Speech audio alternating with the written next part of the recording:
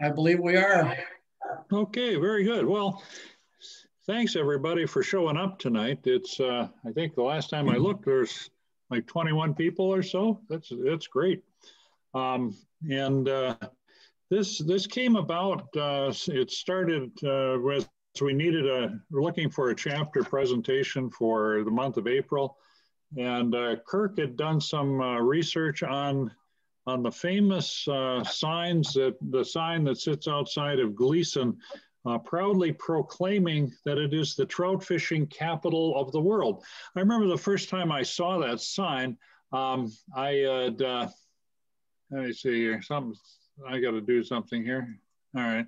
Uh, the, the, the, very first time that I saw the sign, it was several many years ago, and I was on I was living in Wausau, and I had a meeting up in Rhinelander, and I was driving down the road, and just south of Bloomville, I look up, and there's this sign which boldly proclaims that the Gleason area is the trout fishing capital of the world.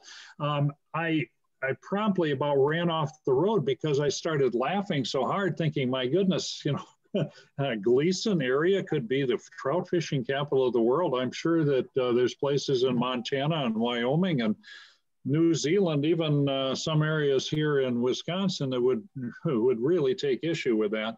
Um, but you know, the more that I thought about that, uh, the more I came to realize that you know, when we think about uh, what the important places for us, um, if you the place that is your home your home waters for you becomes that capital, that trout fishing capital of the world. And uh, after after leaving Wausau and moving up in this neck of the woods, I've come to understand a little bit of the pride that uh, the Gleason area has uh, in in in this particular uh, setup here. So what we're going to do tonight, we've we've assembled a, a you know a panel of experts not at all. Uh, the only the only thing that uh, we have going for us is the fact that we were willing to do a little research and put something out here. Um, so there are people that are watching this tonight and, and, doing this with us that I'm sure know a lot more than we do. Uh, so there is going to be an opportunity if you have questions uh, or if you have uh, criticisms or you say, wait a minute, let's talk about this, all you need to do is to use the chat function on Zoom. And uh, Kirk is going to be monitoring that and he will uh, interrupt uh, what I'm doing and we'll do the same for him and for Patrick when we're doing it. Um, what we're going to do tonight is, is we're going to do, I'm going to start out with a history and overview of the Prairie River watershed. Um, and just, just basically give you, for those of you that aren't familiar with the area, at least give you an overview of, of the river itself and some of its attributes. Then we're going to look at uh, what is the state record brook trout listed in the, uh, in the Freshwater Fishing Hall of Fame and also on the state records uh, that was caught in this watershed. So we, we have a little bit of bragging to do when it comes to uh, to our uh, to our chapter in that. Then Kirk, uh, Kirk did some research on the signs, the one that about I drove off the road laughing when I first saw. Uh, but he will be he'll be filling us in on some information, and uh, he was able to interview you know some of the teachers and those folks that that worked at getting those signs together. Um, then we have Patrick Hager with us tonight. Patrick is uh, is going to talk about the history of the Friends of the Prairie River. And uh, he's got a lot of lot of things to share with that with us. And Patrick was one of the organizers of that group, and uh, it's great. and, and he's been a, a long time uh, TU member or chapter member as well. And also, he's going to talk about the bugs. He's he he has something a website that's called WisconsinFlyFishing.com, and on it, he's he has uh, maintained a hatch chart on there, and he has a he has a real love and fascination for in you know the bugs. Um, so we what what we're going to do, we're going to include all of you as well at the end of it, if anybody's still there after our drivel is done. Um, we, have a question for you. And, uh, and after you, in, in something you can mull over as you're going through. If you had to fish the Prairie River with only three flies for the entire season. Okay. And, that, and it can be, and it doesn't have to be flies, you know, it can be a Mepps number three, you know, you know, black and yellow if you want. Uh, if you can have three things you could fish the prairie with uh, for the entire season, what would they be and why? So that's going to be your participation. We've included all of you as experts in this as well, even if you've never been on the river at all. Okay, tonight we're going to explore that claim that it is the trout fishing capital of the world with Kirk and uh, Kirk Start, Patrick Henry, and myself. And then again at the end, we're going to have you experts uh, call in. Okay, so let's take a look at the prairie a little bit. The prairie, basically, the watershed is divided in two sections. Uh, historically, it has been described as two distinct sections, and the dividing line is always the village of Gleason on Highway 17. Now, for those of you that don't know Highway 17, it is the road which runs uh, between uh, Merrill, uh, Highway 64 and Merrill, up to the city of Rhinelander and, uh, and beyond. But uh, Dudley, uh, I mean, Gleason is a, is a small village about halfway in between. Now, the upper section of the prairie is normally been described and, and shown to be that area which is narrower, brushier, and faster water. And that really is a generalization because the, in, in, that, in those upper stretches, uh, from Gleason North, uh, there, there is a wide variety of, uh, of, of the way in which this, uh, this, this watershed presents itself. Um, it, is, it is an accurate gen generalization, I think, but it also, the, this stretch of water also, also possesses most characteristics of, of some of the lower parts of the thing. It also has pools and runs, the traditional pools and runs and riffles. Um, it is, uh, again, primarily a little brushier as this picture would show. This is kind of in the upper stretches of it. Um, so this is not an unusual look at the upper prairie, uh, but it can also can have some pretty wide open places in, in places you would never expect it to be. So it, it takes some exploration and you, and you have to look around a bit.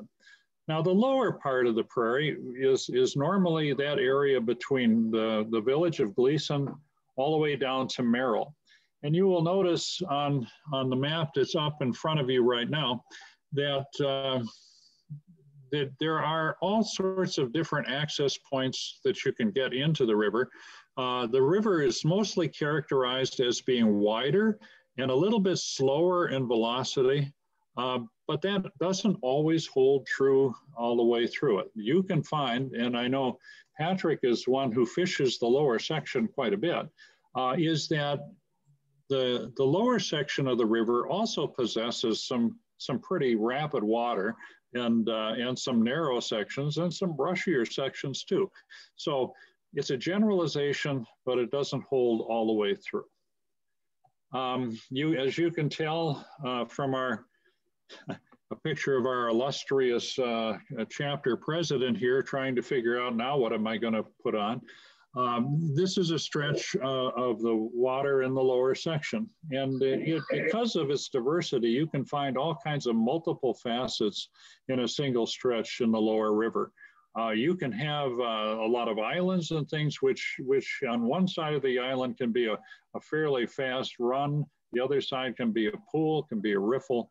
Um, the watershed, really, the Prairie River watershed begins in northwest Langlade County.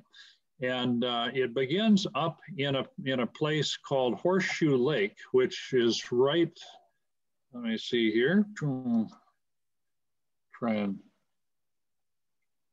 do a couple things. Okay, here we go. Um, Horseshoe Lake is, is, um, is in, if you notice right here, the darker color is all county forest land. Uh, the green, the darker green color area around the Minto Lake area is uh, state land as well. This lake is located, if any of you know where Enterprise Lake is or Pelican is probably the most well known, uh, would be up would be way up in here, up to the you know north and east of, of the beginnings of the Prairie River. Um, the Prairie River begins out of Horseshoe, goes through Pine, comes through Minto, and then proceeds uh, and makes its way over uh, across uh, a lot of county forest land. Langlade County Forest Land uh, holds most of the upper prairie. Um, and it's, uh, it's accessible because of that, because it's public land. Uh, there aren't a lot of easy ways to get into it um, other than using, you know, there's, there's, a, there's quite a few ATV trails and things in there that, that on occasion will cross the river. Um, but you have to do a fair amount of bushwhacking if you're going to get into the upper prairie. Uh, and of course, uh, as all of my neighbors up here say, there are no fish in it. Make sure that you tell people that. Um, but there are fish. And it, and it is, uh, you will also notice um, that, that the upper prairie is fed with uh, a, a, pretty good infusion of a lot of different, um, a lot of different small, small feeder streams, both named and unnamed, a lot of things that uh, feed into it. And and having done a little bit of uh, travel up in some of this, there are there are a lot of uh, a lot of springs in this area, so it's a pretty good water source, and it's fairly well protected uh, because of the of the public land that is that is owned there. Uh, you'll see the white areas are privately owned either by lumber companies or by um, by individuals but most of the land uh, that the upper prairie is in in the headwaters is protected. Now, it, it, it flows through um, and then comes to a little burg, a small cluster of houses and trailers that also has their own sign in it, and that's right in here. And that is a sign that proclaims that you are now entering beautiful downtown Parrish. Um, and you will also notice that just outside of the, of the Burg of Parrish, which is basically a couple of trailers, a house or two, and some and some cabins that are on, on the river. Um, there, outside of there is, is a small parking uh, lot, and that is the start of what is the DNR uh, Prairie Rivers Fisheries Area. And we'll go to that next. Now the Prairie River Fisheries Area again, starts up in where that parking lot starts up in Parrish. And um, it's just outside to the east of Parrish. Um, there's, a, there's a parking lot here. There also is one right here on Highway H uh, that comes down. This is DNR fisheries land as well. I our chapter did some brushing up in there. I think Patrick was in on that one as well. Uh, we did some brushing up in this. Haven't been able to get back to it because of some of the water issues as far as high water when we schedule things. Uh, but that's part of the Prairie River Fisheries area as well. You can't see it very well, but uh, River Drive comes along here and there are en entrance points right here and here where you can get you can get into the river and uh, there again, there's no fish in there. Um, if you come uh, you will note that most of most of the uh, the access to the river flows right along Highway 17, and it falls right down um, right down Highway 17. There is access to this this area. Um, you can access by coming in. Ooh, true, true. I'm not sure exactly, on, on Hanson Road is, is the place. This is not a wadeable section for those of you that say, I want to try that, I'm going to hop in. Um, it tends to be fairly deep and fairly wide. And, you know, it's one of the, it's kind of one of the, uh, the, the points of reference that I made that it's not always close in and choked off. Uh, this is a fairly wide open stretch in fairly deep water, and it's very difficult to wade, although you can go around the edges on it a little bit. Um, Hanson Road is one place. If you notice, another good place to come in is the bridge at, Han at R&H Road. Um, there is uh, there is state land that comes all the way down to uh, what is now called Neuwirth Road. Um, so this is all state land within here. Yeah, that that is the stuff um, that is sometimes referred to as uh, the school forest and the um, you know the old Boy Scout camp. You know, there's you know, Patrick and I even had the discussion here the other day. We had to ask an es- expert for sure, you know, what is the uh, old school forest and and the uh, Boy Scout camp area, and it, and it is in this area. there, this is this is R&H Road. If you notice up here, there's quite a bit of uh, rec, uh, restoration work has been done right up in here. So you can hop in the river here and, and hike it up if you want to. Um, right here is, this road is called Hackbarth's Road, and it's another parking area, and also, again, Neuwirth. Neuwirth is the place where one of our, our Eagle Scout projects has a wader wash station we place there every year. Um, the next place of access really on the river, and you can see that there's work being done, and there's work being done right now on that, and you'll see some of it later, um, is this is Gross Road, uh, right across from Echo Lake. And you, there's, a, there's a bridge in there. The, the DNR land is on the east side of the river. Uh, below that, um, it, it takes us to Dudley, uh, one of the old logging cities uh, that no longer exists. And there is a, there's Bridge Road that comes in here and then what is uh, Dudley Road and C or what is what what the sign says is triple C uh, right on Highway 17. And that that's the uh, the upper part of the DNR fisheries land. Um, the next the next part is the lower part where we pick up here we pick up here right at right at Dudley Road. So we'll uh, we'll expand that one for you a little bit. Um, whoop.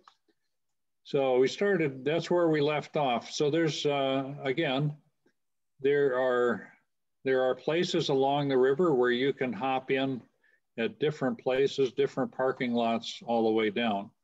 Um, the city of Gleason is right in this area, right here. Um, Highway X uh, is, uh, is right, this corner is one of the favorite places for anybody heading north.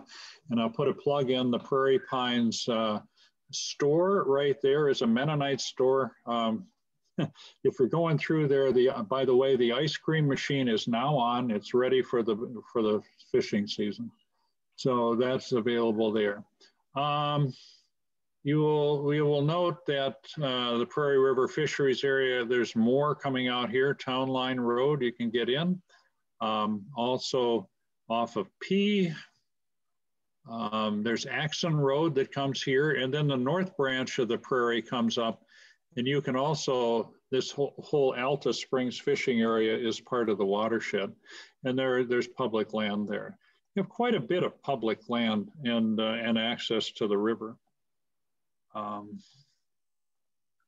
this is a this is courtesy of the Friends of the Prairie. Patrick gave me this map, and this shows us uh, we can take a look a little bit closer when it, when we're looking uh, at the at the southern part. Uh, coming out of Gleason, uh, there there's the uh, there's Bloomville and with Highway J that comes across. There's Heineman Road, which is another bridge access. Um, on Bloomville on J, there's uh, there is state land and a parking lot right here as well.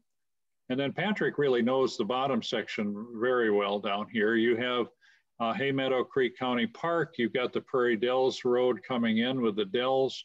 Uh, Yankee Rapids. Uh, this is, um, oh God, this is Shady Lane going back, and this is the Prairie Road that goes back. In fact, there's access to the river all the way down into Merrill. Okay. Have we got any questions yet or nobody started yelling at me? That's good. Okay. Yeah, question? Yeah. Yeah, Shady Lane has changed its name, right? Yes, it is now. It's named after some guy that lives out there. It is. In fact, it, it was in the news. It was in the news. What was that? Holdorf. Yeah, Holdorf. Holdorf. It was, yeah. It was in the news here the other day because a woman from Weston I was on an ATV and, and ran off and, and ended up uh, becoming deceased uh, because she ended up in the river and uh, and drowned there on I think weekend. Ended, What's that? I think she ended up in the the silt pit. I think she did end up in the silt pit. Yep. And we'll talk about that in a minute, the silt pits. Okay, like most of our northern waters, the Prairie River watershed face primarily two out of the two out of the three historic threats to its health. The three are logging of obstructions like dams and agricultural damage due to chemicals uh, and, and silt runoff into the streams. Uh, the Prairie River watershed was adversely affected by two of the three. The agricultural thing never really posed a great, a great threat to it directly. Um, but most of it had to do with logging and with dams. Logging, um, you remember I talked about that little burg, you know, beautiful downtown Parrish. Uh, this, these, uh, this Parrish is one of probably, uh, you know, eight, eight or more little burgs all the way down the, the Prairie River watershed uh, where sawmills were placed. Um, logging practices in, in the, and during the cutting of the pinery um, were, uh, were pretty, ad, you know, adverse to the resources. You know, they, there were no real, there were no rules. You know, it's kind of like, you know, the old Clint Eastwood movie, you know, what rules in a knife fight? There's no rules in logging back in those turn of the century days. And so basically everything was clear cut. Basically anything goes. And so, because of that, um, un, unbridled development would happen for short periods of time. They would take off as much as they possibly could. They would use, uh, you know, damming and ramming, which basically said, you know, we'll we'll float our logs down the river by damming it off, filling the filling the the uh, the mill pond behind it uh, as full as it can be, and then blowing the dam and shooting the logs down the stream, which basically ripped the streams apart, widened them, flattened them out. This, this particular, these particular pictures over here are from that little burg of Parrish today. Like I said, Parrish today is a couple trailers, a couple cabins, and a couple houses. Um, in its day, there were over 75 homes, uh, and they had three very distinct ethnic sections. There were the, there were the, there were the Irish and, and the, and the, uh, and the French, and I think there were the Kentucks, and they, and they had different sections of the town. They had taverns. There was a full big hotel. There were stores and a school. This particular lumber mill in the turn of the century uh, was cranking out uh, 95,000 board feet of white pine lumber uh, a day. And the, and the shingle mill that was part of it uh, also cranked out over 100,000 shingles a day. And it ran seven days a week, you know, 365 days a year until the pine ran out. And then it all kind of went, the pot burned down, tore down, moved to the next place. And, and and what was left was left in its wake.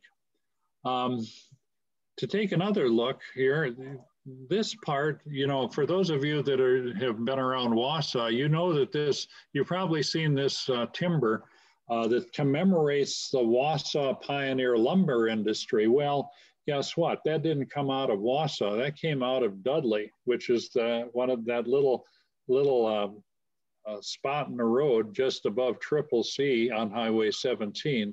Um, and, it, and it doesn't really give you a good, a good perspective of how big that is. Um, you, a, a full-grown person standing next to it would never, would not even begin to come to the top of that thing. If you look here on your right, this, this particular picture is the lumber mill off of Heineman Road. Heineman was a little, you know, you know, there's nothing that exists of Heineman anymore. But at one time, it was a booming sawmill town uh, that had all sorts of stuff in it. In fact, uh, this this particular picture would be south and uh, south and and west of the bridge crossing the Prairie River on Heineman Road. The property is now owned by Doc Jones. Uh, and if you fish that area, you will go through you. The remnants of the milled pond dam are still there, uh, so you can see it. But then also some of the damage is still there that was done. This area was just north of Gleason. Uh, it was an area that it gives you kind of an idea of what was left after the timber was taken off um, the, the land. And, and there's an interesting thing, and I didn't put it in here. Um, but if you you can go online, and I think it's called Aerial Wisconsin, turn you know 1937. And if you look that up, if you Google it, uh, there for whatever reason in 1937, the state of Wisconsin uh, did a, a flyover of the entire state and took pictures of the entire state. So you can go in there and click on uh, the spots, and I've done that for some of these areas, and it's it's just amazing to take a look at the areas that even today are are fully wooded, are open, bare, uh, you know, sort of farmland that never took off. And so you can you can see what happens after after the logging ends. And the picture here is uh, on the right, lower right is the uh, is is a log jam on the Wisconsin River just just just above Merrill. Um, and you can tell by the dress, you know, you're looking at probably 1920s, nine, you know, in that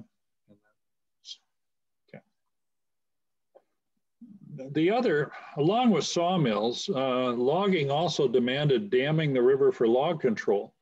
Uh, two major dams built about the same time uh, in the late 1800s um, were built and, and, uh, and blocked the, the Prairie River watershed. Um, the first one is the Prairie Dells Dam, which is pictured here. Uh, that, again, that dam was built in the 1800s. It created a two mile long mill pond that, that was behind, um, behind the dam.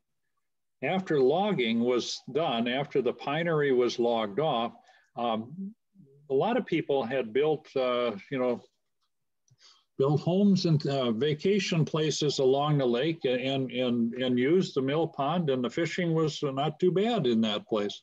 Um, but they decided back in 1905 uh, that in, since the pinery was pretty much shot and they didn't need it anymore, if you notice on this picture up on the left, this is a very early picture with the log chute where they would sort the logs and then uh, slip them down through the uh, off the dam. They decided that they would build both, both the one here and the one in Merrill uh, were going to be turned into producing electricity. Well, um, what happened was uh, after the Lincoln County, uh, there, there came to be a problem. The engineer in charge of the project of putting the electrical generators in uh, mistake, made a mistake with a decimal point. And uh, they followed the design and evidently was never, never worked out to sufficiently generate electricity to pay for its operation. So it never never generated commercially any electric power out of this dam. Lincoln County over the years spent thousands and thousands of dollars to repair and to keep it, but in the end, it just became too costly.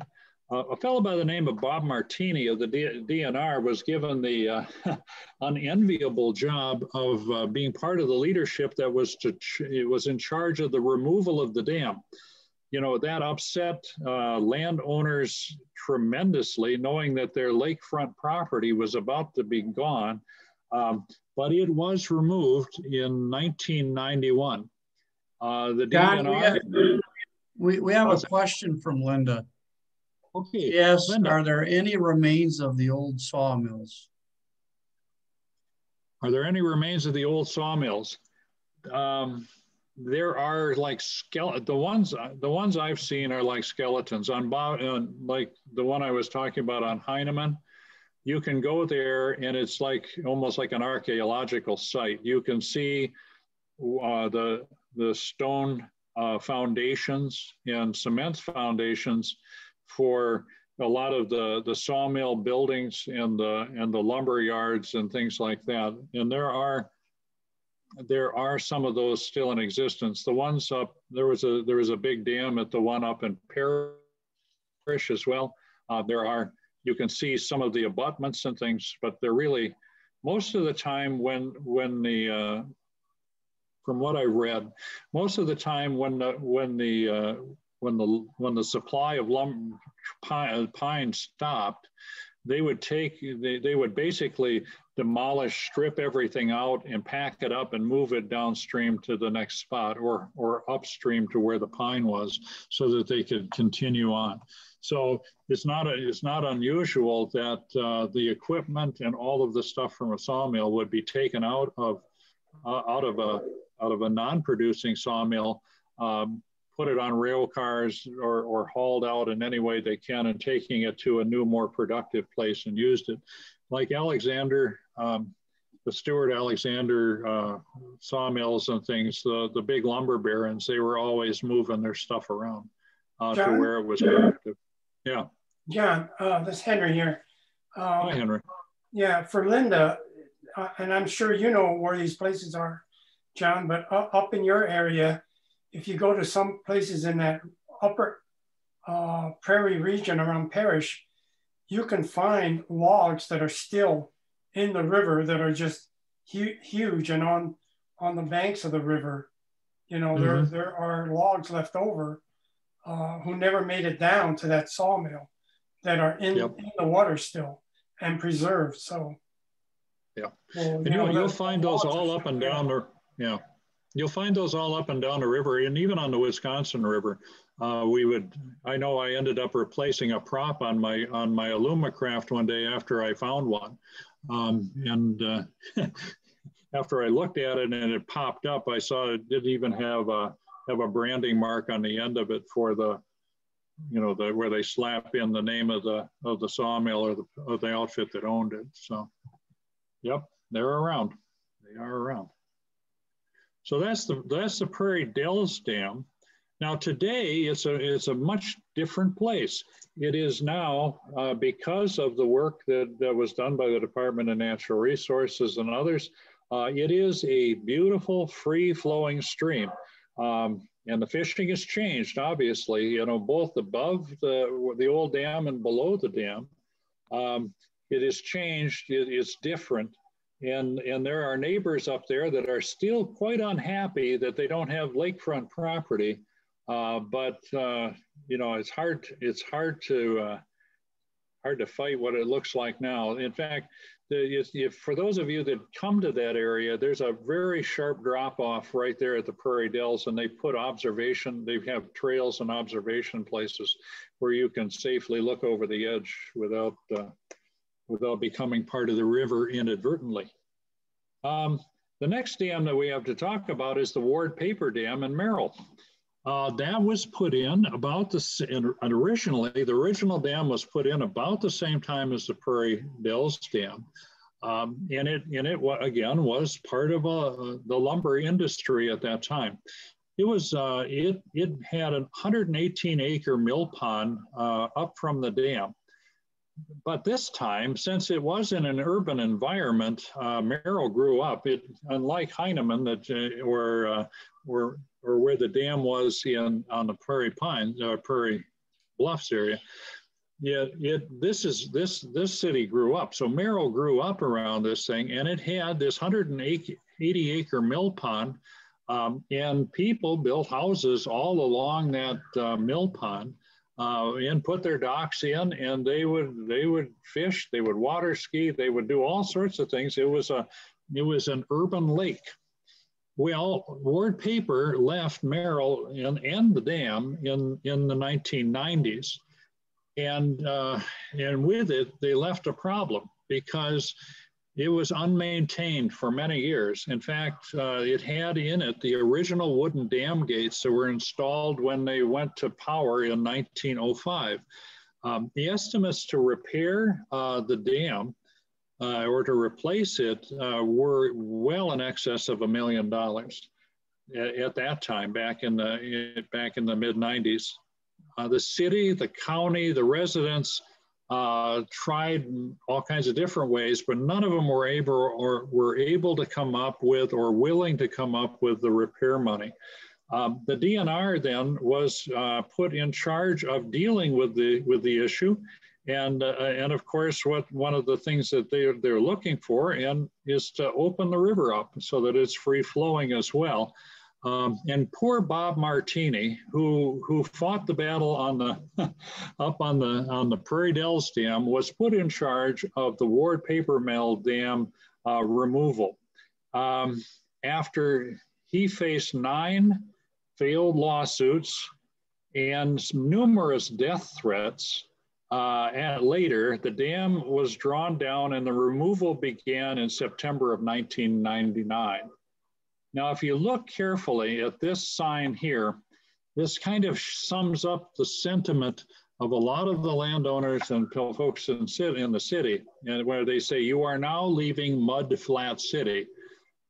And on the bottom, it says, thank you to the DNR and FP, exclamation point.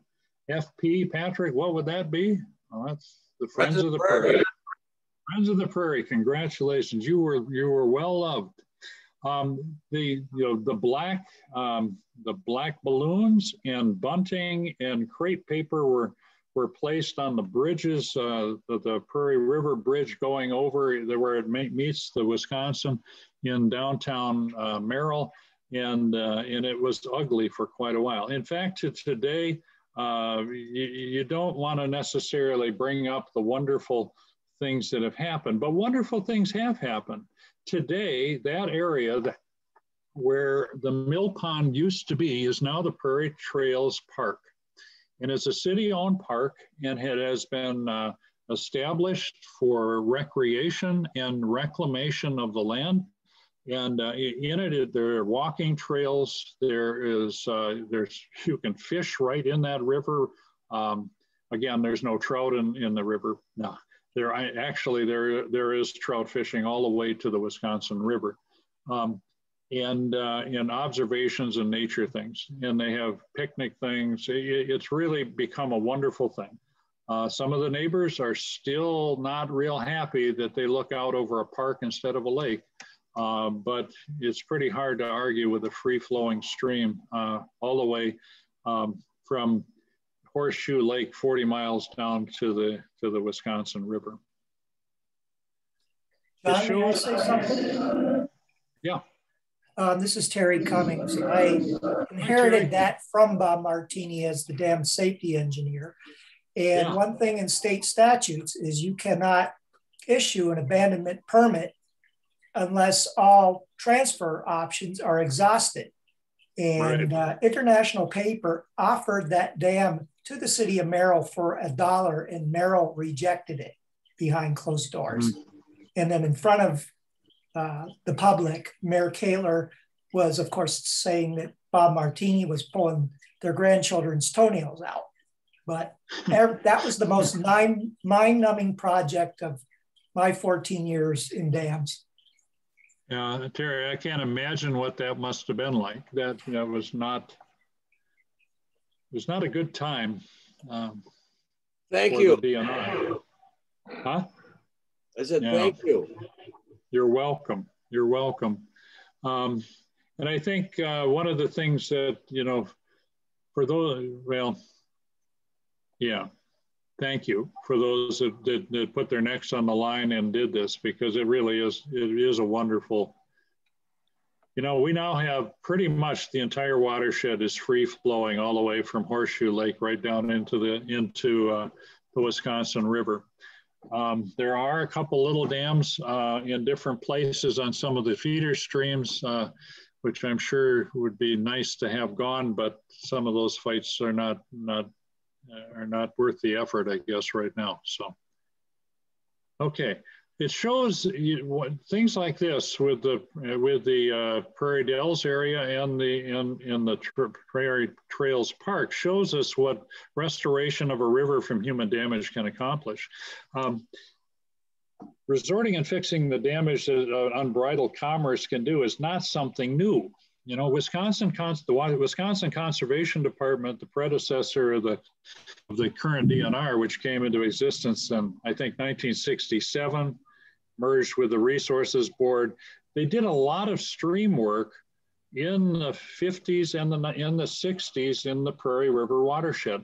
In fact, you will, if you fish the river, you will find those places where there are wing dams and other, uh, other signs of work that was done back in the 50s and the 60s. Uh, back in those days, uh, what, what normally happened, they would narrow the stream beds with wing dams and, habit, and habitat techniques like half logs, brushing, and boom covers. A lot of stuff has changed uh, since then with time and watching what works and what doesn't work, but the desired outcome is the same, is to restore and protect cold water resources.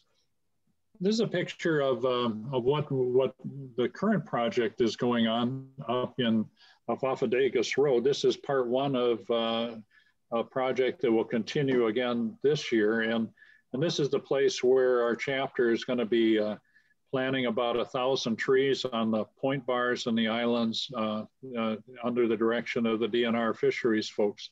So a lot of a lot of work can be done, and a lot of a lot of things can be done to preserve and to save the resources that we have. Well, getting back to that whole business of the trout fishing capital of the world, um, if if if, if it is so, then we need something to celebrate our status in the in the world of angling. And guess what? We do. Uh, we have, uh, as recorded, the Wisconsin state record brook trout brook trout, nine pounds, 15 ounces, was caught on September 2nd, 1944 in the Prairie River in Langlade County, and it was caught by John Mixes. Now, what you're seeing in front of you is a, is a replica, which is on display in Fisher's Bar, which is the former, for those of you old timers, was the farmer, former Hope and Marv's Bar, which is at the com, you know, at the at the junction of Highway 17 and Q north of Parrish and, and Gleason. And I had, uh, and, and, I think that I think if you want to really be serious about all this stuff, you should do some research and go to Fisher's Bar, hoist, hoist a beer, and look at the replica. Um, I had the privilege to talk to John Mixes Jr. Uh, John Mixes, who caught the fish, that died, you know, you know, quite a few years ago. And so I sat down with John and I and I asked him, uh, what he knew about this uh, state record brook trout. Um, and he told me that he told me what he knew. Um, in fact, he said, I, I can't verify it for fact because I, I wasn't born yet. He, he, he says he likes to say, I was born and he was five, uh, nine months after his dad caught the trout. so he must have went home and celebrated after that one or something. Um, anyway, uh, talking to John Jr., and he said that his father uh, was uh, a farmer and a pipe fitter and had numerous different jobs. Um, but he spent most of his available time pawing around out in the woods and in the water. Um, nothing fancy, but he he was he was one of these guys that was always out and knew what was going on. He said, according to his dad, that he his dad had spotted this fish about a week or so before he caught it. And he devoted every day out there trying to figure out how to catch this fish. Now, most of us, as trout fishermen of you know of, of high class, we would think that that wouldn't it be nice to know that the state record brook trout was caught on a on a fine cane rod with a with a with a 12 foot you know 6x tippet you know? Um, actually uh, john jr told me what his dad used. He used a large a very large minnow uh, and it was attached to his father's uh, short and stubby and very stout musky rod with uh, probably had braided line and a treble hook on it. And he was able to feed the, feed the, uh, feed the large minnow multiple times down into the pool until, until the fish was caught. And, and he hauled the fish, he said, from, from, the, from the place which was called the pool, uh, north of Parrish, which doesn't exist anymore um, hauled it to the Parrish store and, and post office that was in existence in 1944. Um, got the got the the store owner and the postmaster out of bed, and he went there because that was the only certified scale between Rhinelander and Merrill. And so he went in, and they and he uh, the postmaster witnessed and, and measured it uh, and or weighed it, I should say, and uh, he his dad made contact with uh, the state and they accepted it as the state record brook trout. Well, um, that that is that is the state record brook trout caught, caught in Langlade County. Now, as you all imagine, uh, if any of you have spent any time um, in, a, in a, sitting on a bar stool anywhere, the first thing that's going to happen is somebody's going to doubt that it happened, right? And and there may be very good reasons to be doubting it. So there was a fellow back in 1995 by the name of Bob Fellman of Fond du Lac, and maybe maybe he's around and you know him. But uh, he contacted the Wisconsin Outdoor Journal, and the editor of the Wisconsin Outdoor Journal contacted Earl and Joan Little, who uh, fished the prairie often and also wrote for the journal, uh, to investigate this. And for five months, uh, they went and they tried to track down as much information as possible, interviewing everyone they thought could help validate or dispute the catch. Uh, they talked to bar owners, fishery experts, field and they caught the uh, the Field and Stream magazine because they had awarded uh, John, uh, the, like Fish of the Year, the Brook Trout Fish of the Year for Wisconsin. They used to give out medals. Um, they talked to the Tavern Society in, in Chicago because uh, there was a rumor uh, to the effect that the, that the fish was given to somebody who took it to Chicago, had it mounted and put on a bar wall. Um, the historical Society's newspapers, and John's they talked to John's wife, who was still living at the time, and two and his two sons, both John and, and Randy. Um, and they and they came to, to this conclusion. And, uh, and I'd like to read it from the magazine. Um, it says here, uh, there were many phone calls, excitedly pursued false leads and disappointments, small and large. Uh, questions remain. Was the trout a native or a planted breeder that had served its time at a fish hatchery or somewhere else? Who verified the catch? Where is the fish? Did our state record hop the border? Is it still destroyed or swimming in somebody's attic? Anybody, does anybody know and will they talk? We have only scratched the surface of a much more complicated story. Will we ever learn? Joan and I would like to thank everybody, especially the Mixes family, for their cooperation. And should you ever hear more, we'd like to hear from you. So, is it a state record? Isn't it? Did it come from out of a stock pond or whatever? Uh, the the Mixes family obviously and and and very strongly says nope. It you know Dad caught that out of the out of the prairie. Um, so until until otherwise uh, known or discovered, uh, we we in our chapter in the Prairie River hold the uh, record brook trout for the state of Wisconsin. Okay, that's all I have. So what I'm going to do is we're going to turn this one over to uh, Kirk at this time, and he's going to talk to you about some signs.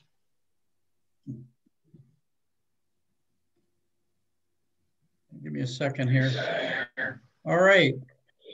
So as, as John alluded to earlier, you're driving on north on 17, or if you, and many years ago, if you were driving south on 17 just before you got into Gleason in both cases, there were two signs proclaiming Gleason area trout capital of the world. And uh, John, just like myself, myself having been born in Montana and gone back there every summer until I was about 18 or 19, uh, kind of looked at those signs and laughed, you know, and said, yeah, whatever. Um, and as he indicated, I'm sure people in New Zealand or Montana and Colorado and other places like that would, in, in the southwest part of the state, would would would like to argue this. But I will say that these signs were the idea and the creation of three teachers in the area that were uh, um, fifth grade teachers. Uh, some of those who were art teachers, and uh, they did a fantastic job on these two signs. They they did. Uh, this was a big community project involved Midway School, which is uh, still kind of there in, in, in that area. At least the building is. I don't know if the school exists anymore. But uh, we figure about 2003 or 2004, the, they were thought up by the three teachers. The project was funded by the Gleason Community Club. Um, so, and, and if you'll notice the signs now, the one sign that does exist, it does need some work on it. And we're going to pursue that as a project to get some people that are artistic enough to be able to do the right work to, to revive it. Um, the other sign that was as you were heading south was taken down by the DOT because it was put up on state land without permission. Uh, the sign was destroyed, but the unique thing about that sign was that it was a brown trout and you can't really see it in this picture, but all of the fifth grade students in the rings on the brown trout signed their names. So they all had their names up there in writing. It's too bad that sign got taken down, but it did. So, and you can you can see there's a number of adult volunteers and things like that. There were countless hours put into these things, um, and it, it was a, a great sense of community pride and and you know kind of doing something for the area to to make their own recognition which uh, we won't argue about it being the trout, trout fishing capital of the world or anything like that. We'll just acknowledge that a lot of times for all of us, wherever you go fish, you know, on a trout stream, if that's your usual spot, it is your trout fishing capital of the world. So this is the sign, like I said, that still exists. And it says Glease and R you know, trout fishing capital world. It does need some work, but this is on private land. That's why it's still there. And uh, we're going to try to do some, get some work done on it with the approval from the people that put the sign up first and stuff. So um, it's just a great thing. I, I, I, didn't see any of the teachers join, but it would have been nice to hear from them. I did send them the meeting invite, but uh, um, so but they're on Zoom classes and stuff all day. So maybe this is too much. So anyway, so if you want to know, that's how we did the story. And, uh, you know, it's a story we're going to stick to it. And we're very proud to have them there.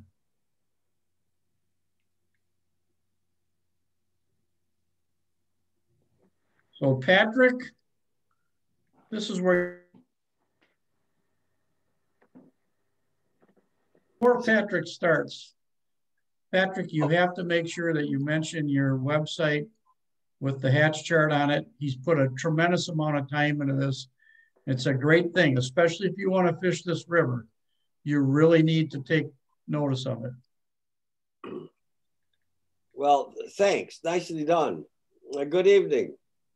Uh, this is a Friends of the Prairie River flashback. And it's not going to take long.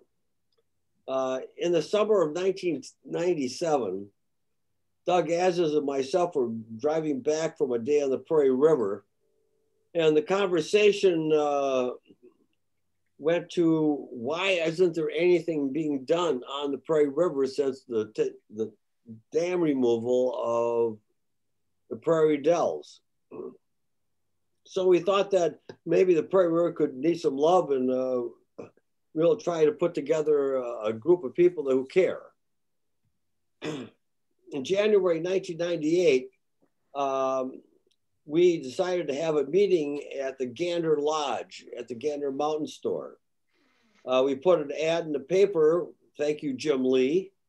And uh, we, we, also sent out a mailer on uh, the Gander Mountain mailing list and uh, we were going to discuss uh, the the Prairie River, the future of the Prairie River. Well, over 60 people showed up, and uh, it was quite lively and passionate. Um, the DNR was there to discuss uh, their opinions of what should be done with the Prairie River, and a lot of folks uh, suggested what they thought should be done with the prairie. Uh, after the meeting, Jim Lee wrote another article, a follow-up article in a piece of the Wausau Daily Herald. And uh, may I say that uh, Herb Hintz and uh, Wisconsin Valley Trout Limited were not happy. Uh, in February 1998, the steering committee uh, sort of was formed. Doug Azes, Joe Krasnowrich, Pete Segerson, Al Hauber, Russ Akey, Jay Millenbaugh, and several others. And we decided that we were going to send out a mailing to all of the landowners on the Prairie River. So we compiled this list uh, using plat books and what have you. And we sent them all out for a meeting at Lesson Gyms in April of that year. The DNR was present. Um, Doc Jones gave a talk about the WHIP funding, and the WHIP funding was uh, Wildlife Habitat Improvement Project. And you could access up to $10,000, if I remember correctly, for uh, stream improvement. And P. Segerson talked about the actual stream improvement uh, mechanics and how it would proceed. Uh, in the spring of 1998, uh, we went out and visited several sportsman clubs throughout the area. May I say that the Lincoln County Sportsman Club was uh, not fun. Uh, that was a tough one. Um, they had no passions whatsoever for any regulations and any changes to uh, trout fishing on the prairie. It was an experience. Um, let's see, we put up signs at all the access points. And uh, I don't know if you can see this or not. Yay, nay? Nay. Is anybody out there hearing me? You're good, Patrick. The sign, if you'd hold it up in front of your face, they'd probably be able to see it. Okay, how about that? Yeah, I can hear you, Patrick. Okay, good. Uh, we put those signs up up and down the river at all the access points. I still have six or seven signs left if anyone would like to put one up at their particular favorite spots.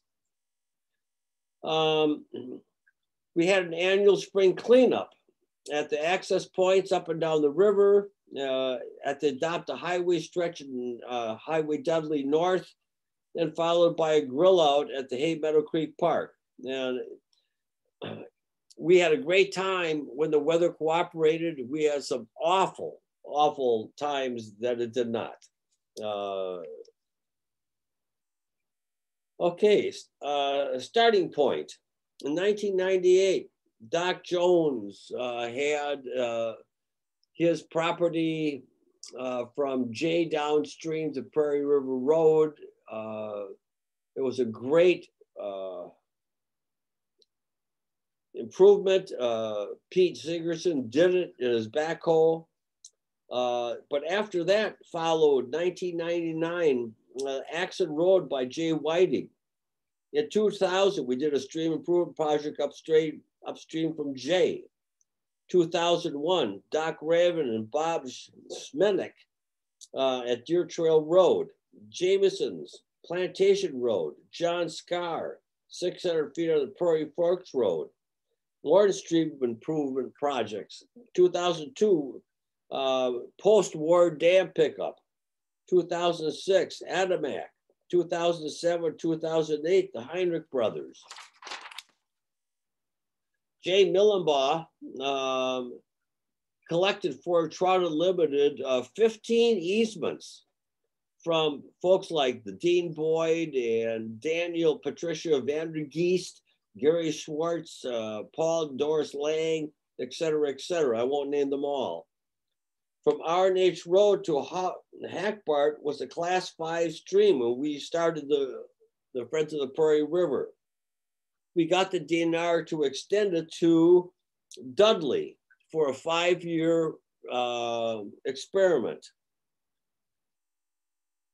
2007, the question was put out on the spring uh, conservation hearings without any data that read from,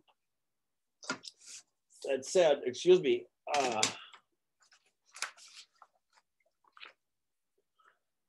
excuse me, I'm sorry, I got it on a point here.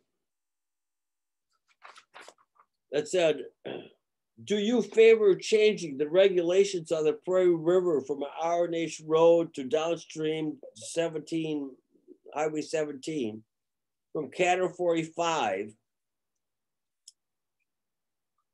And it was a resounding no. Okay. And we were just flabbergasted. Well, in 2008, it was put up again and the DNR apologized because they said that the last year's question to change five miles of the prairie river category five to category four was presented for a vote with no data. So this time, this year, they introduced the data. And it said that there was, uh, in that five year period, the brook trout increased by 110% below 10 inches, but increased by 200% over 12 inches. That went on to win by almost a 70% approval uh, vote throughout the state at the the spring hearings. It went forward to the Cold Water Resource Board and they voted on it and they said without local considerations, they will not support it. And we lost, even though we won. And may I say that that was the end of the Friends of the Prairie River. Uh, there was hardly any more meetings after that. And in fact, I think the last uh, scheduled event on the their website was a spring spring cleanup in 2010, and no one showed up, and nothing has been done since. But we, hey, we fought a great battle.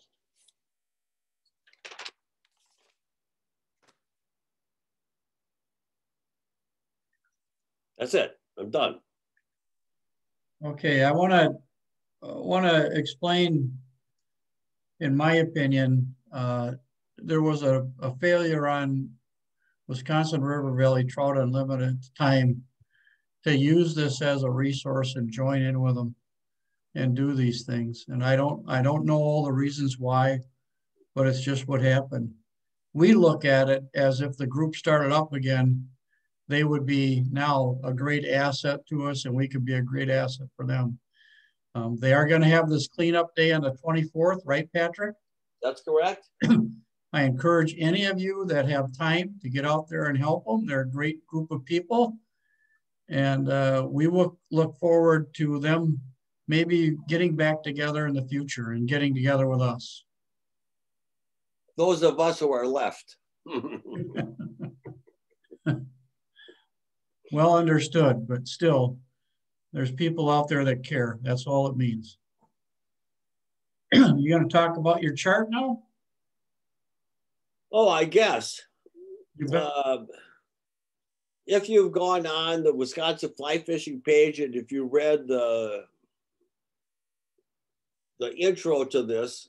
Uh, this started way back when uh, my wife and I owned the Orvis Fly Fishing Shop in Milwaukee.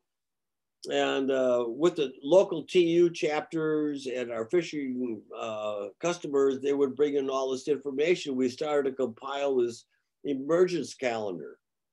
Now, there were other emergence calendars out there at the time, yes. Um, but over the years, it's gone from, you know, uh, one form to another. Uh, is now online, and uh, I, I, it was a whole lot of work, and I'm really actually quite proud of it. Uh, I think it's uh, very, very accurate, and uh, I think that anyone who fishes not only the Prairie River, but I mean statewide. I mean, there's Kinnickinnic olives and Brule River flies that are known by themselves. Uh, Wolf River sulfurs that only appear on Father's Day uh, is quite extensive and is uh, quite complete.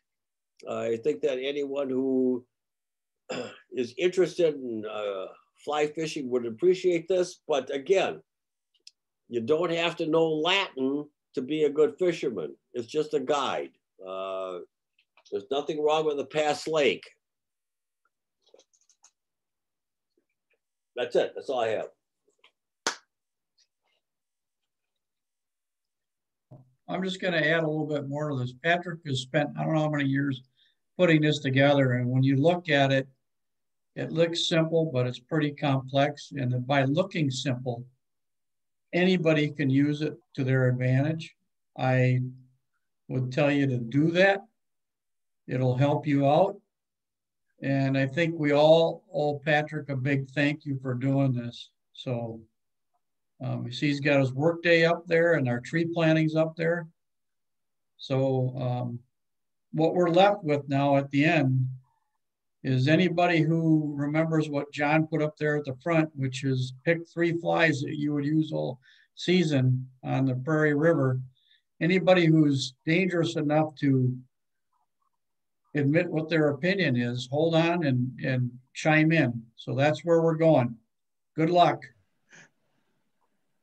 Okay, I'm gonna I'm gonna go ahead and stop sharing the screen and you can un you can unmute everybody and turn your turn your videos on and yeah.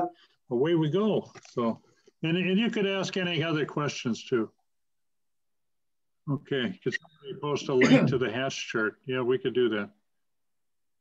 I have a, uh, an answer to your questions.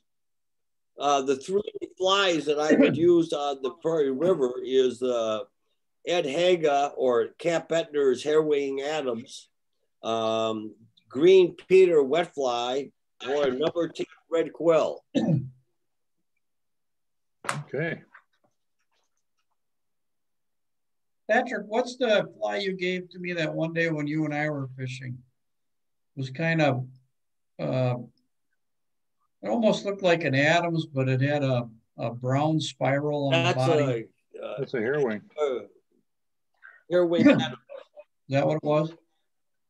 Okay. Some people call the Cap Bettner's Hairwing Adams, but Ed Haga tied them. Okay. Thank you. Hmm. I do a Pass Lake Trude because uh, you can fish it wet or dry, and, and you know, and uh, it it works very well up here. And I would probably have to have a parachute Adams in there somewhere, probably about a 14. And uh, hmm, I, I I would go. I, I shouldn't give this away, but I'd, I'd use a Renegade. Henry, which is really, what do you use? A Western fly, but you know the dumb thing works. You you talking to me? Yeah, I said Henry. What would you use? Oh yeah, I you know I think I would use a, an an Adams in a 14 uh, later in the season. I think I would go to a a white fly tied parachute for the for the white fly hatch. And I think I, I kind of agree with Linda that if I were going to go underwater, that I would use a, uh, a black woolly bugger because I have uh, waded in the prairie and there are a lot of black leeches. In fact, uh, I have been uh, fishing in the prairie when there have been some uh, kids fishing uh, in there and when they get out of the water, th there were actually leeches on their legs because they, they didn't have any um, uh, waders. So they were just fishing barely. And so they, they, they actually had leeches attached to them. So I know that there's a lot of leeches in that in that prairie. So I think those are the those are the three that that I would use. Hey George, are you here? I don't think I see him. I don't think he joined, Patrick. Well, what about uh, Bob Swoboda? Are you here? I don't think so either. I'll take a crack at it. First, I don't know why I'm an administrator. I must have done something wrong again. But, uh, That's how you named yourself. oh. I, that serves me right for touching it. Um, my on a on a dry, I've been using it for about three four years now, all over the place. Um, I love a Mercer's Missing Link. Uh, it is the most revolutionary, um, suggestive dry I've ever tried. A nymph is a weighted stonefly nymph in the heavy water, and a wet would be a partridge in, in orange. Hmm. Oh. Who else is out there? I'll give there? you my stab. My stab would be, um, I love the parachute Adams, probably eh, maybe even as big as a size 12.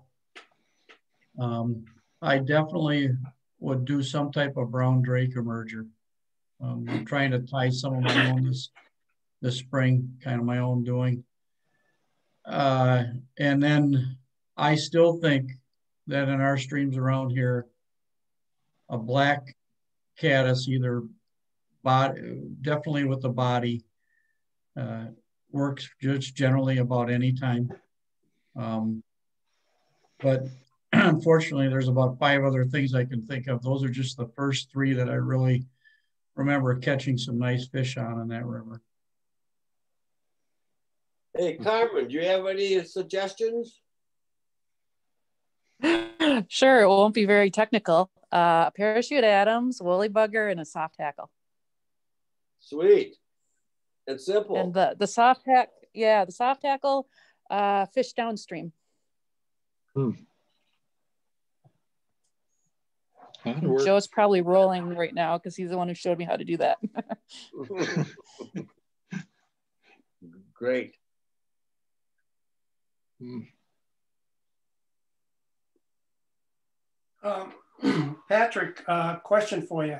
Sure. Hi, Henry.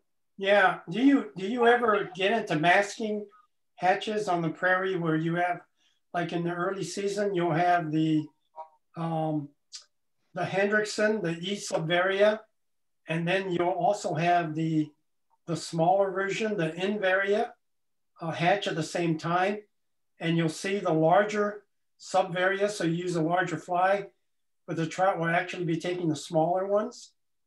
You ever come into that situation? Uh, I, I, I've found that happening uh, on, on the prairie sometimes when, when both of those uh, Hendricksons are hatching at the same time. You'll see the big ones, but they're really taking the little ones. yeah, I think you're correct, but I it's been so long. I haven't seen a decent hatch of either in the last 10, 15 years. Yeah, I, I in fact, all of the hatches on the prairie seem to be so diminished. yeah. Uh, brown drakes, the sulfurs, the paraleps. Uh, I don't, I don't know why it's the numbers have dis- diminished so much, but when I can remember back then, yes.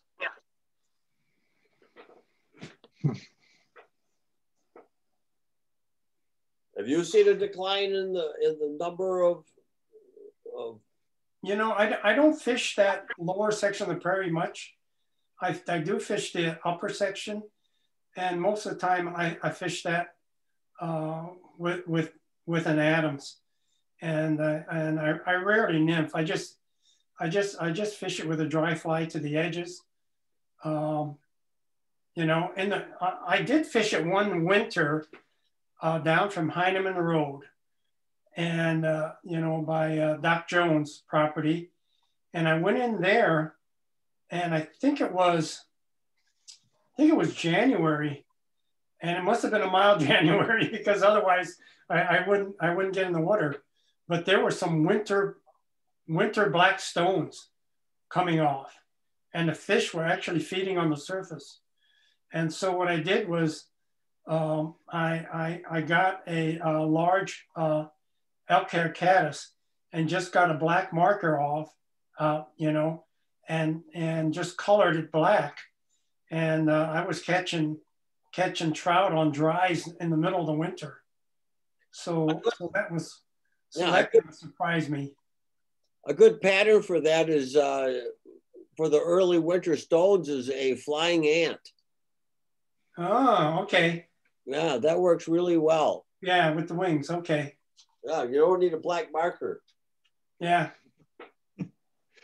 Yeah. You're looking good. Okay.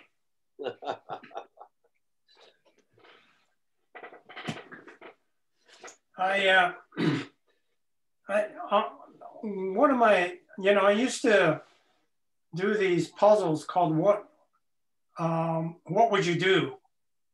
And uh, I, I, gave some to John Meacham for our TU um, uh, um, monthly newsletter. And one of the first ones was when I just started to fish, to fly fish, and I was on the on the prairie in the summer. And uh, you know, I, I, I was just a beginning fly fisher, and uh, I didn't I didn't know anything about the hatches. Uh, I didn't know much, you know, about fly fishing really, and um, the uh, um, I was caught during that summer in the midst of one of these Wisconsin downpours.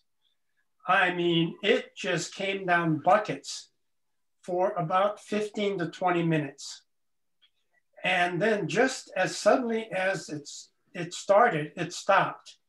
and I got back in the river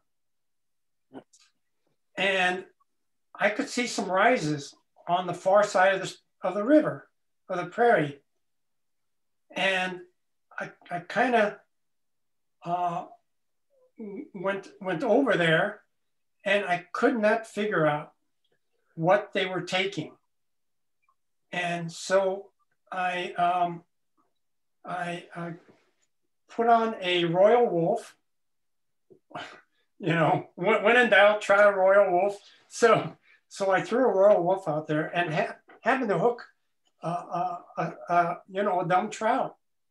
And um, I discovered what he was taking was this black beetle that had washed off of a pine tree that was that was hanging over the stream.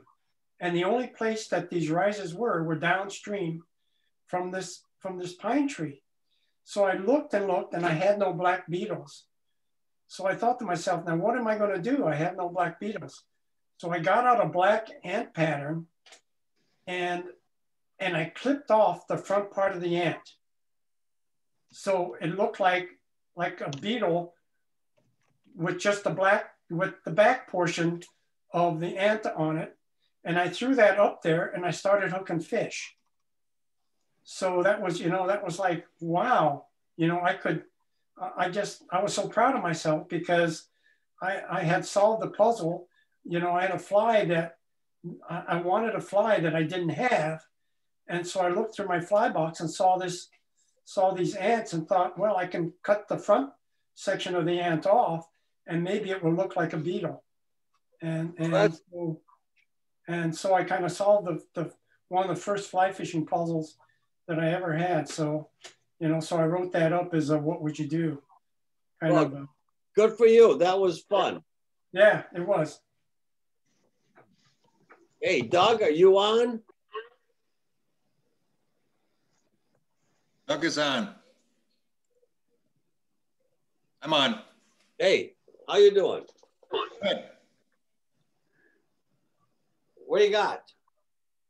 For flies? I've, I've only, I've only fished the Prairie River once.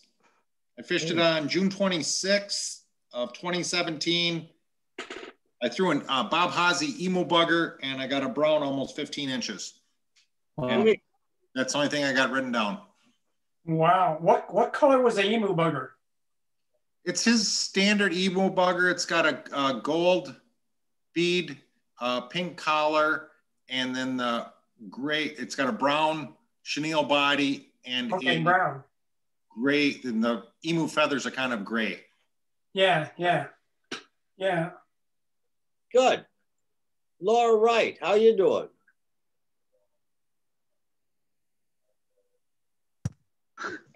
What it There? care? There she is. How are your flies? I'm uh, the other half of Laura Wright. I'm Jim Wright. okay. When I don't know anything, I just take out a parachute Adams or a Harris there and flail the water until I'm too tired and go home. Sweet. Hey, Lynn, Yes, sir. how yours? I would probably do uh, the Adams, and uh, I love nymph fishing, so I'd probably have to play around and uh, figure out what I wanted to do there. But uh, the fail safe would be uh, the Milwaukee Leech, only because uh, Henry Koltz and Mike Coor have uh, talked it up so much. And I've had some uh, luck with it down in the driftless, but haven't really fished it up in the northern streams that much. And I think if I wanted to really tough it out, if I wasn't doing anything, I'd probably uh, bring my spinner and have to throw uh, a Vibrax Blue Fox and about a three ace and black and gold to really uh, see if I was that bad of a fisherman or not. Oh, that's great. Where do you fish? I normally fish down here uh, in the Central Sands area. I, I live in Oshkosh, so I spend a lot of my time out on the uh, the White, the West Branch of the White, uh, the Mecan, and down through there. And then uh, two or three times a year, I try and get down to the Southwest. How's the Mecan doing? Uh, I didn't get. I got out there once last year for about a half hour, but Mecan's been fishing well, according to Doug Erdman.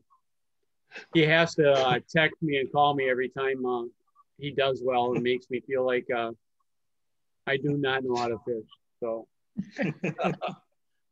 When I had the fly fishing shop in Milwaukee, uh, the Mecan was the place to go to for a day's fishing out of Milwaukee. So uh, I have a lot of memories there.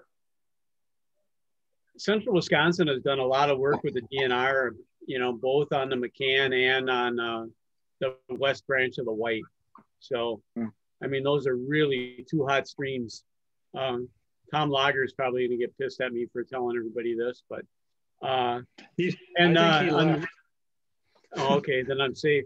And and on You're the west branch, the west branch of the White, you get a chance to actually catch, uh, you know, uh, natural producing rainbows along with brook or browns, if you can get up uh, far enough and and have some fun with it. So So you could fish for the cycle. absolutely, and I've actually I caught a one night uh, hex fishing on the White. I caught a 12 inch uh, rainbow. Wow, kind sweet. of about uh, about a mile and a half up from uh, the uh, Duels Bridge. So, about where the power lines cut across, if anybody's fished that section. So, Not recently. Lynn? yes, Yeah, Henry Kanemoto here. Um, did, did you say they're naturally reproducing rainbows in that in that river? yeah, I uh, I work a lot with Scott Bunde and and Sean Sullivan, and and uh, Bunde always shows me uh, or sends me pictures when they do uh, the first of the year shocking to see what's what's going on. Wow. and they've uh, shocked, uh, you know, uh, natural producing uh, rainbows out of there. So Yeah, I thought there were no natural reproducing rainbows except for one stream that was in the Menominee Reservation. That's what I I either had read that or heard that from somebody in the DNR, but obviously that's not true. You know, I thought there were only naturally reproducing browns and yep, no, uh, in in Wisconsin. Yep, this was above. Uh, and sorry, my internet is kind of unstable, but hopefully you guys can hear me okay. Um, this is above uh, Cottonville Road. There's a, a section that they just did a, a bunch of work on here about three years ago, putting in a silt trap and, and working on it. But you can go above uh, Cottonville, kind of uh, by the airport in Wautoma. They, they seem to be not as prevalent as they used to be. In in the 80s, I could catch the uh, naturally reproducing rainbows in the Chaffee and hmm. in uh, the West Branch and Bird and Bowers too. Um, and it's getting harder. And I did hook one in the main white once too. But uh, at the one of the youth camps, I got one of the kids a, a, a uh, NR rainbow once in the West Branch. So they're still in there. The owner of Fisher's the owner of Fisher's Bar up here is, has a has a place right on Q, and there's Payne Spring that comes in, and a culvert that goes under Q.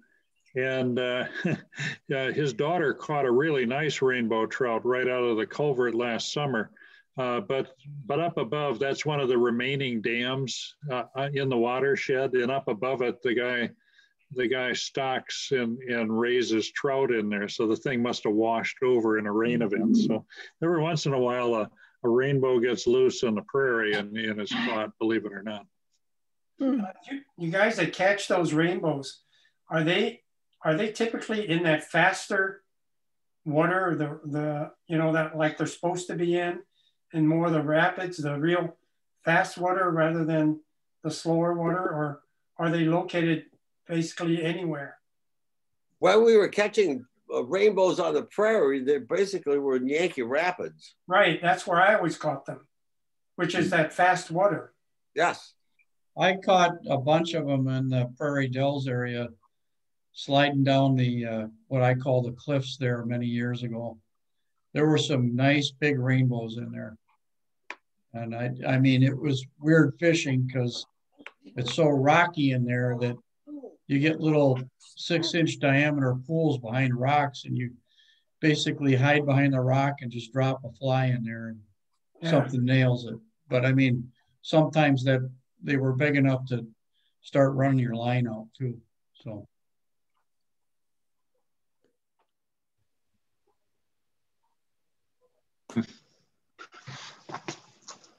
And on the white, your best chance is right uh, probably downstream from where uh, the West Branch comes in for a good chance to catch one of the rainbows there.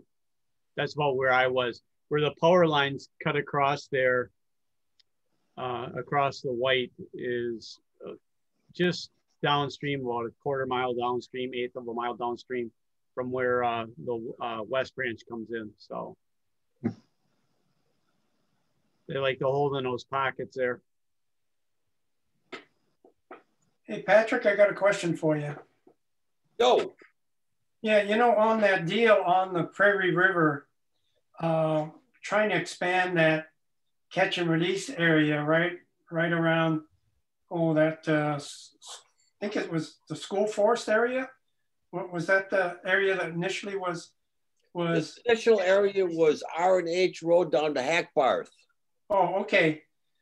You know, that I, am wondering whether, you know, that, that timing was was not right because, you know, the DNR is is trying to get away from special regs, you know, and and I don't know other than the early season, uh, I'm not aware of an area on, on a Wisconsin river that has special regs anymore. Are there any special regs on any sections of streets? Obviously, you are correct. It was bad timing. Um,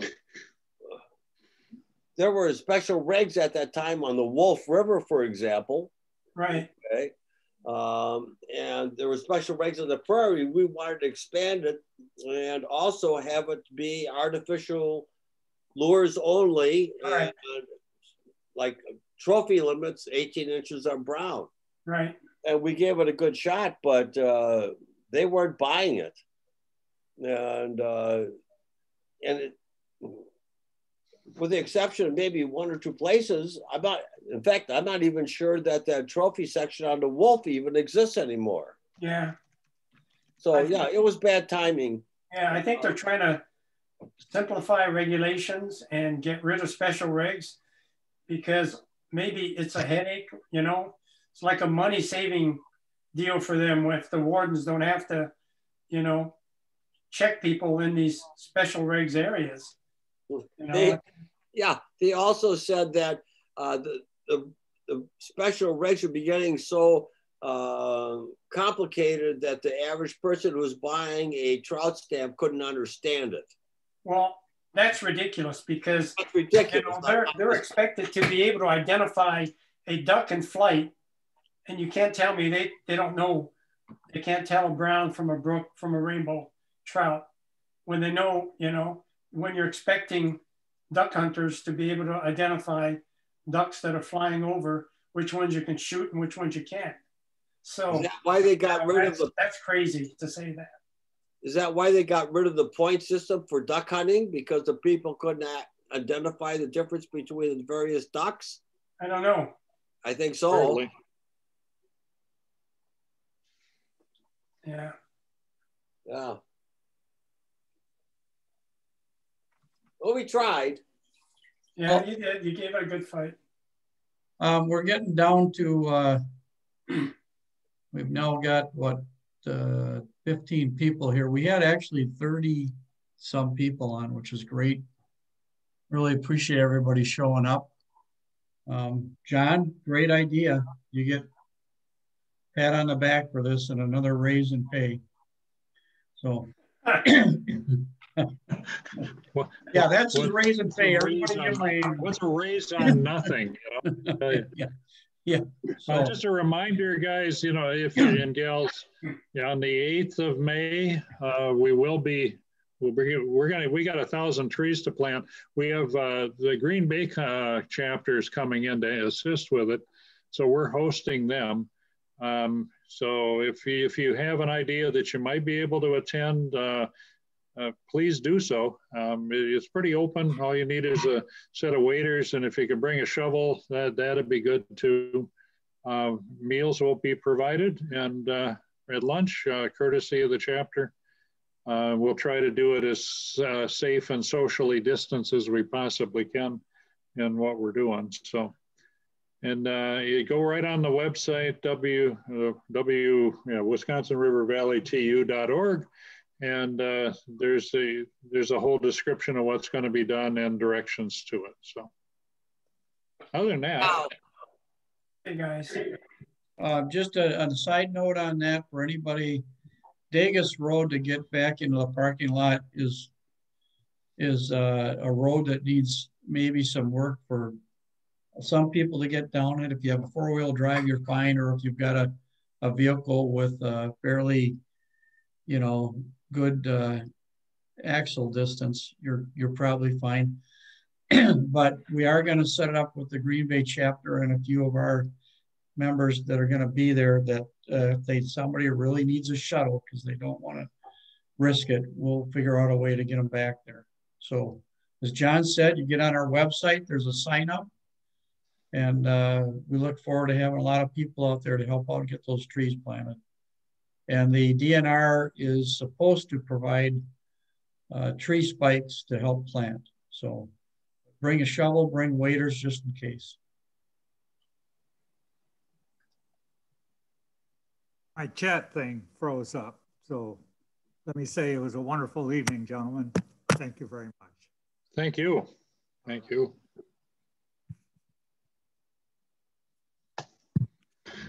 That being said, I think we should end this and thanks everybody once again for coming and hope you had a good evening.